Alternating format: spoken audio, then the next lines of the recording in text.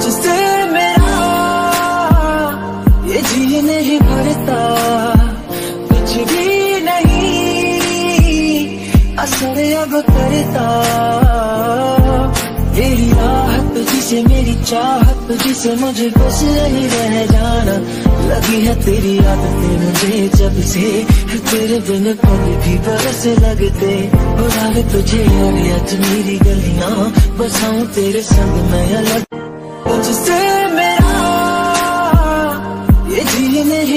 thought